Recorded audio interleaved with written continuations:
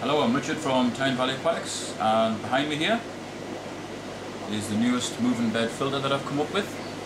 It signs out quite a few of the problems associated with previous ones. Obviously it isn't a proper tooled vessel, it's a shampoo bottle. But um, because of the curved nature of the top of the shampoo bottle, it doesn't trap any air there. So you tend not to get problems with the filter shaking itself loose. And this one also has an integrated foam which helps trap a lot of the muck before it gets to the media. The media in here is actually a new sort of media. It's a ceramic sintered glass media instead of the normal plastic K1 and because of the nature of the media it doesn't move like the K1. The K1 all crashes together if this stuff crashes together, it's going to wear away. So this moves very, very gently. It more or less vibrates and the media doesn't crash into each other. There's still a good flow of water and air over the media and the media still is bumping into each other. So you still should get the very vigorous form of bacteria grown in this filter. This is looking through the side of the tank. So it's actually looking at the front of the filter and at first glance it's not really a moving bed filter. But when I zoom in a little bit you can see that all the bits are vibrating. So the airline comes in the bottom. The bottom of this black section's got loads of holes in to allow the water to get sucked in the bottom. As the air is being expelled out the top it sucks water in the bottom. Hits the foam which strains out a lot of the heavy muck and then the water passes through the media. Where the air is coming out there in the top of the foam, there's actually a T-piece, so it directs the air to two different places, so you get a really good coverage of air. Therefore, all the media moves. So the air bubbles passing right through all the media, and they're being spat straight out the top with no air collecting in the top at all.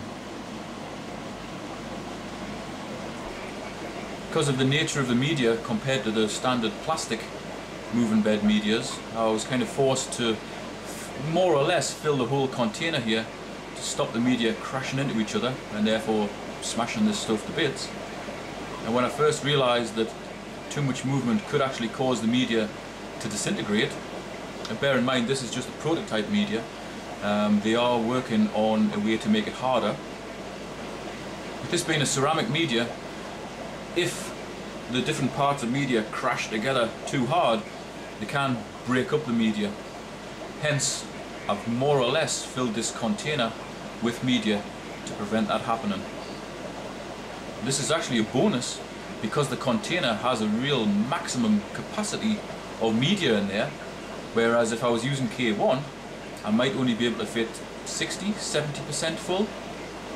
So there's obviously going to be a lot more media in contact with your water in this sort of filter. I think the next logical step is to develop this into something that can be mass produced.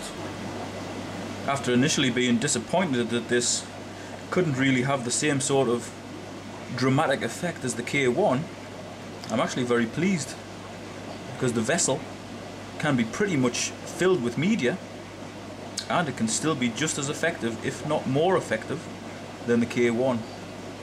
Certainly its massively increased surface area when compared to K1 should make it a hell of a lot more efficient than standard moving bed filters. It actually looks quite attractive as well. Bear in mind this is just a shampoo bottle. Get a close-up of the top there, you can see that now there's no air collecting in the top at all. That really works very well, just from having a simple curve on the top of the bottle.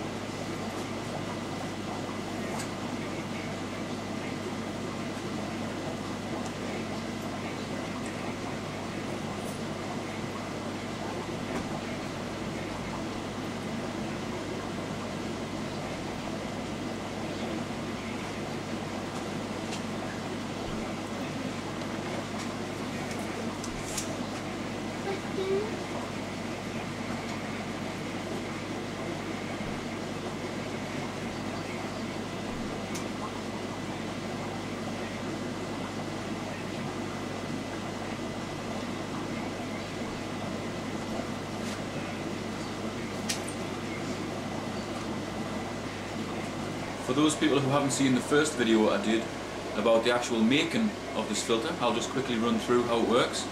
There's a hole drilled in the bottom here, which passes through the middle of the foam.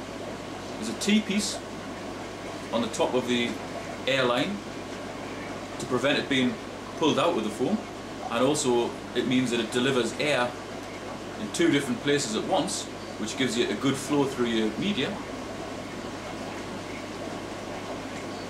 The bottom of the filter has been drilled around here so that when the air is being pumped through here and expelled through these holes, water's pulled up through here, muck's trapped in the foam, and then the water continues up, swirls all around in here, and the media does its job.